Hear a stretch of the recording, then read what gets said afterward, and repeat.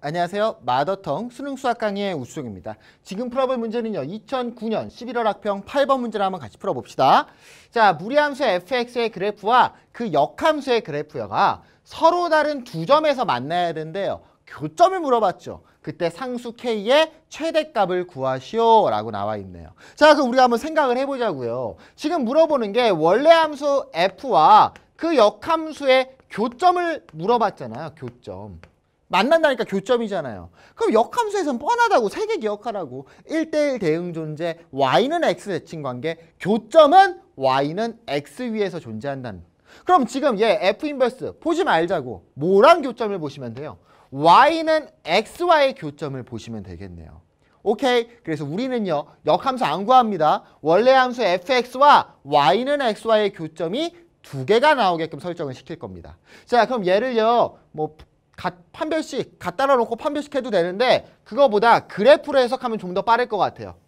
자 그래프로 한번 보자고요. 그럼 y는 x는 고정이죠. y는 x는 다 알잖아. 그러니까 y는 x를 하나 그려놨다고. y는 x 이렇게.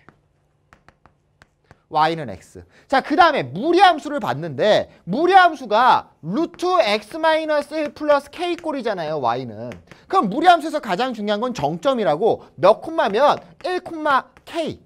그러면 x가 1일 때를 기준으로 샷 여기 어딘가에 정점이 찍힐 거고요. 그에 따라서 k의 값이 커짐에 따라 위로 올라가는 꼴이잖아. 그럼 얘가 이렇게 위로 올라가면서 만나기 시작할 거라고. 그러다 어느 순간 어디 순간 정확한 값 아닙니다. 어느 순간 뭐 하겠어 이렇게 접해버리겠죠.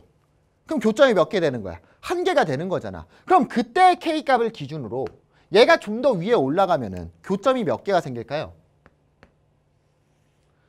교점이 두 개가 생길 거라고요. 선생님 한 개인데요. 이 y는 x가요. 증가율이 더 큽니다. 무리함수보다. 그래서 언젠가 이 끄트머리는 볼 필요 없어요. 어차피 교점 한 개는 무조건 생길 수밖에 없어. 지금 여기 위로 올라가는 순간 y는 x가 증가가 더 큽니다.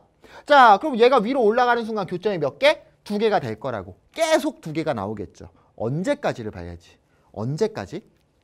이 정점이라는 녀석이 y는 x, y는 x 위에 생길 때야. 얘가 여기에 생겨서 쫙 갈 때, 그때까지 교점이 한 개, 두 개가 생길 거고 조금이라도 더 위에 올라가는 순간 교점은 몇 개만 생기겠어? 한 개만 생긴다는 거죠. 이해됐어요? 아, 위에 올라 K값이 증가함에 따라서 올라가잖아. 그럼 K의 최대값은 어디를 지나갈 때겠어요?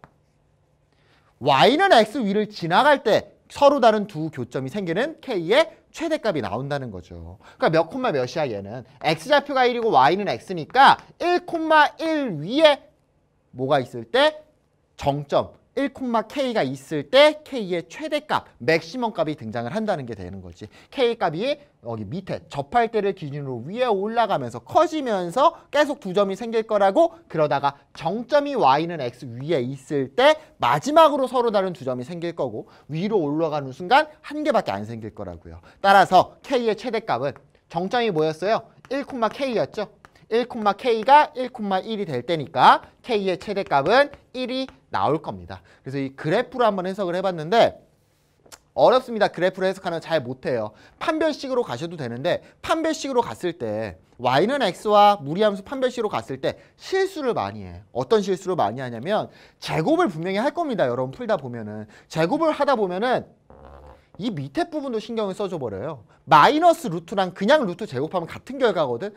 판별식으로 하실 분들은 실수만 안 하면 돼. 이 밑에 부분이 고려를 해버리는 게 판별식이라고요. 그래서 이 밑에 부분 고려 안 한 상태로 접근하시면은 판별식으로도 문제는 풀 수 있을 겁니다. 선생님은 지금 그냥 그래프로 해석해서 풀었으니까 정답은 얼마? 1이 나오겠네요. 감사합니다.